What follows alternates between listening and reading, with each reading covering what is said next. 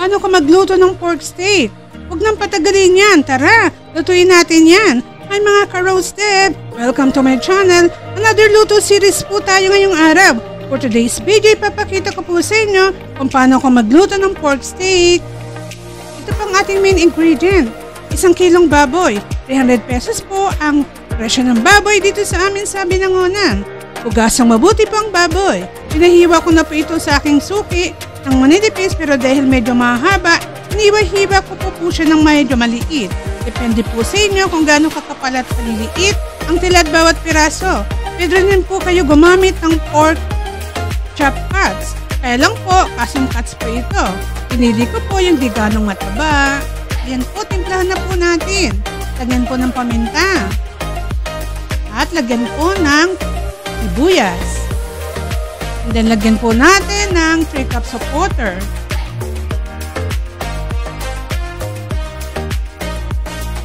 Pinapakulo ko po ang baboy bago ito timplahan uli. Malaking apoy po, then mahinang apoy. Palambutin po hanggang maluto. Yung pwede na kainin dahil konting sangkot na lang po ang gagawin natin dyan later on. Anguin po ang napakulo ang baboy. Ilagay po sa strainer. And then, isalin po natin sa bowl. Itabi po natin ang pinagpakuluan ng baboy dahil gagamitin po natin yan. Kung may matira po, isama ulit natin yan sa pag-init. Timplahan na po natin ulit ang ating baboy. Lagyan po ng paminta. And then, maghiwa po ng kalamansi.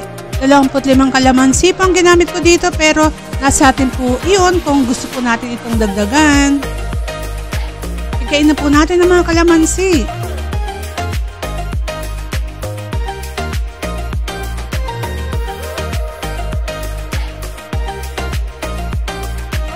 Ayan po, haluin po natin. Pagkatapos po, lagyan po natin ng toyo. 1 and 1 third cup of toyo po ang linagay ko dito. Paghiwa po tayo ng sibuyas. Yung kalahati po ilagay natin sa binabad. And then yung kalahati pwede naman po natin ilagay sa toppings. Pero mas maraming sibuyas, mas masarap po. Nagsaing na rin po ako para sa bayang kanin at ulam. Ere po ang binabad na baboy, mga 1 and a half po or more. Ito po yung sibuyas para sa toppings. Mas maraming sibuyas, mas masarap po. Ito po. Ang ating binabad na baboy. Simulan na po natin siyang lutuin. Lagyan po ng mantika ang kawali. Lutuin po ang first batch. Ayan po, hanguin po. Pagkatapos po, isunod po yung second batch. Igisa po ang sibuyas. Yung kalahati ay itabi po para sa toppings. Ihulog po natin ang ating sinangkutsang baboy. Ihulog po ang toyo na pinagbabadan. Yung kalahati po ng pinagpakuluan ay ihulog po natin. So ayan po, pakuluan po natin. Ayan po. Luto na po ang ating pork steak.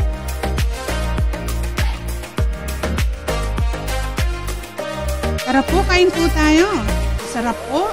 Malambot at malasang baboy. Pagiging sabaw, lasang-lasang pinaghalong toyo, kalamansi at katas ng baboy. Sabaw lang, ulam na. If you like this kind of video, then like, share, and subscribe to Roseb channel. Keep on watching Roseb channel. Till my next vlog.